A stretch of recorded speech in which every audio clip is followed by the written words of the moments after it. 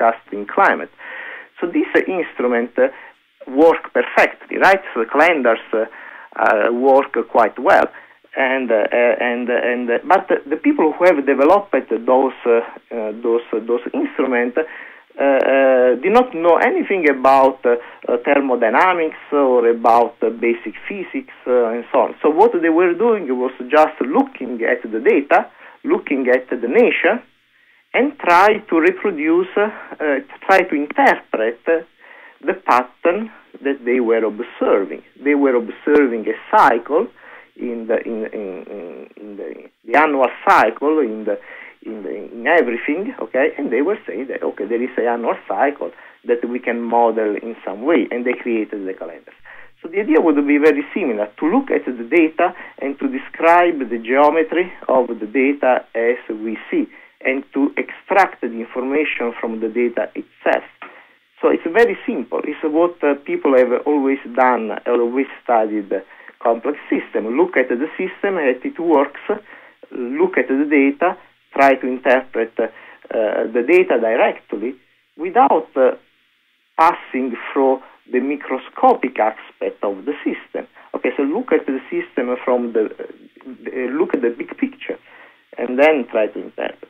Now, if we do this, if we look, do a phenomenological study of the climate system, uh, what we find, what we find is that the climate is characterized by a cyclical behavior.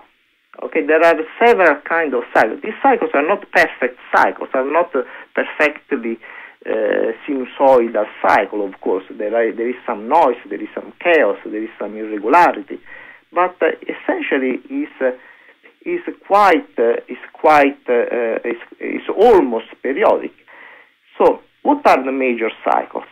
and here is where the sun is very important, okay, because these cycles are found in solar activity. Now, first of all, there is a big cycle which is about 1,000 years.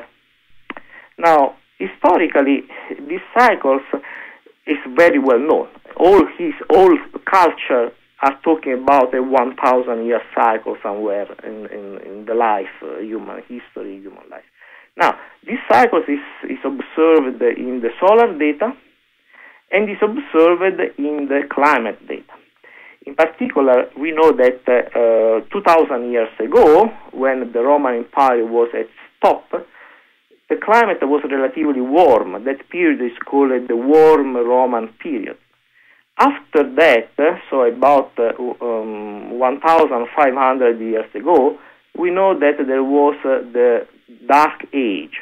That period is called Dark Age Cold Period. So practically there was a, a decrease of the temperature, so it was a cooling period, and uh, and uh, so the, so many things happened, including the the the so um, the Roman Empire collapsed also for the invasion of the people from the north that were migrating south and so on because it was too cold and so on. Then during the Middle Age, 1,000 years ago, the temperature went up again, and uh, we have the period that is known as medieval warm period. The medieval warm period, correct? Yes, okay. yes, yes, medieval. Then there was another period of, of cooling that is known as Little Ice Age. That was around 13,000 to 18,000. Okay, and then since uh, it's 18,000, so since two, three, two, two, three centuries, the temperature started to go up again. And now we are in one of the, of the maxima uh, of, uh, of the climate. So we, have, uh, we are uh, uh, experiencing a warm period. Now, so we have this uh, 1,000 year cycle that is quite clear in the data, at least 2,000 years of data that we have uh, so uh, the probability that the cycle repeats and uh, so so that the, the, this cycle now should start to go down. Okay, so before or later we start to go down. So um, it will eh, it will associate to another cooling period. So the warming observed during the last century, during the last two centuries, and so on, is very likely part of this mm, mm, mm, 1,000 year cycle. Okay. that is one contribution, and it's just one aspect. There are other cycles. One another cycle that is observed in the solar data is a 200 250 year cycle.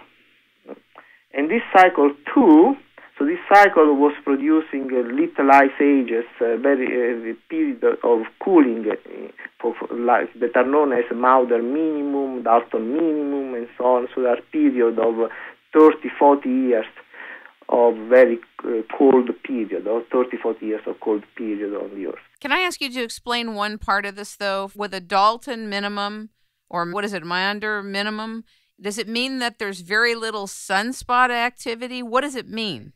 Yes, exactly. So during that period, uh, this Dalton minimum or um, Maunder minimum, the solar was quite uh, was quiet.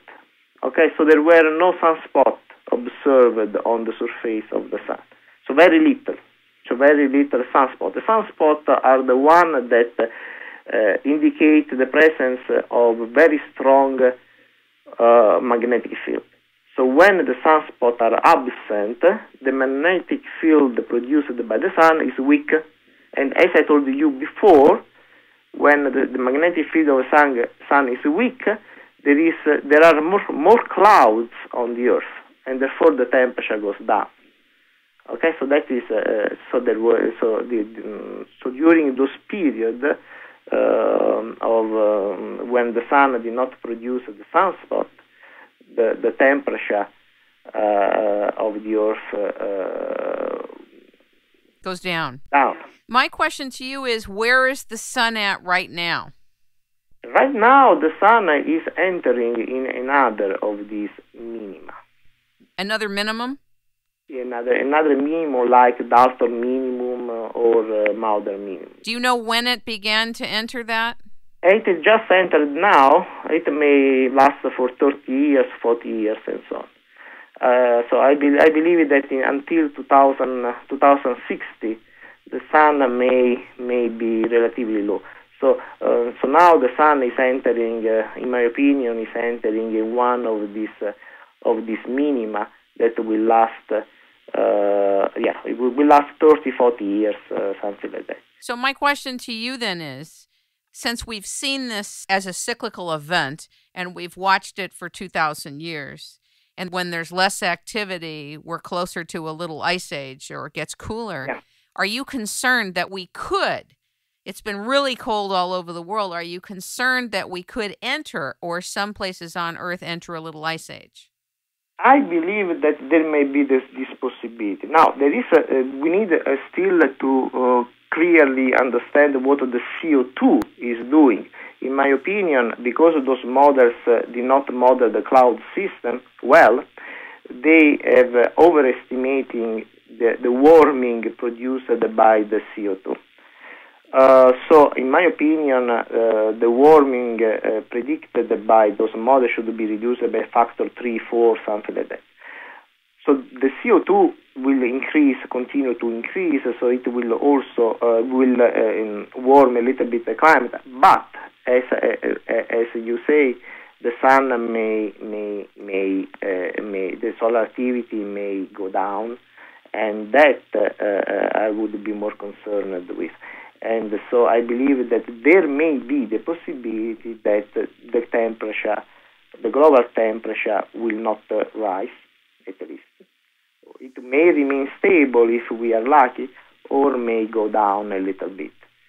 So, so there may be a, uh, a, a moderate cooling that we already have observed since 2002. So since 2002, the temperature did not go up, the temperature went a little bit down, and uh, and so uh, so we are ju- just on the top of the cycle. Okay. When you say since 2002 the temperature has gone down, you know all of the should I say propaganda out there is saying that the temperature has gone up, that 2010 was the hottest in years. Where are you getting your data from? No, no, no. I, are more or less the same data. The problem is that in 2010, uh, so there are events. The temperature is not really uh, smooth. There are uh, uh, fluctuations that are due to El Nino